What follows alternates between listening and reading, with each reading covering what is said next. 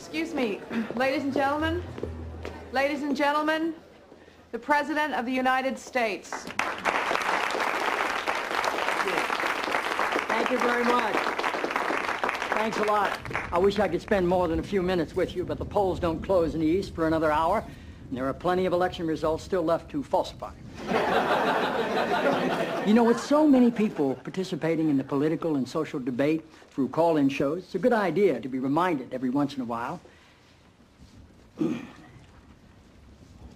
It's a good idea to be reminded of the awesome impact, of the awesome impact. I'm sorry, uh, you're Dr. Jenna Jacobs, right? Yes, sir. It's good to have you here. Thank you. The awesome impact of the airwaves and how that translates into the furthering of our national discussions, but obviously also how it can, how it can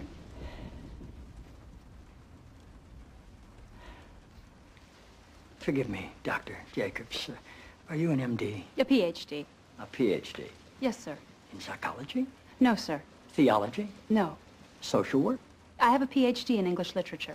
I'm asking because on your show people call in for advice and you go by the name Dr. Jacobs on your show and I didn't know if maybe your listeners were confused by that and assumed you had advanced training in psychology, theology, or healthcare. I don't believe they are confused, no, sir. Good. I like your show. I like how you call homosexuality an abomination. I don't say homosexuality is an abomination, Mr. President. The Bible does. Yes, it does. Leviticus, 1822. chapter and verse. I wanted to ask you a couple of questions while I had you here. I'm interested in selling my youngest daughter into slavery as sanctioned in Exodus 21:7. She's a Georgetown sophomore, speaks fluent Italian, always cleared the table when it was her turn. What would a good price for her be?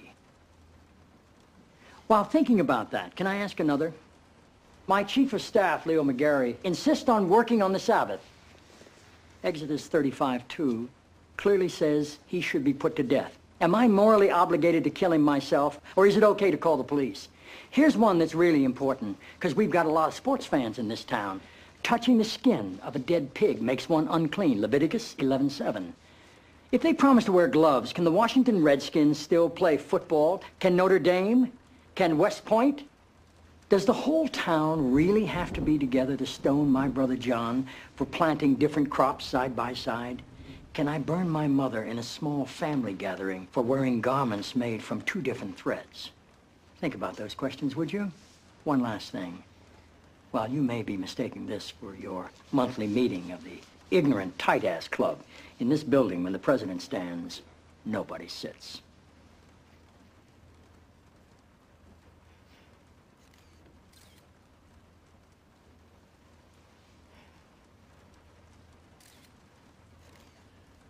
Toby, Yes, Mr. President. that's how I beat him.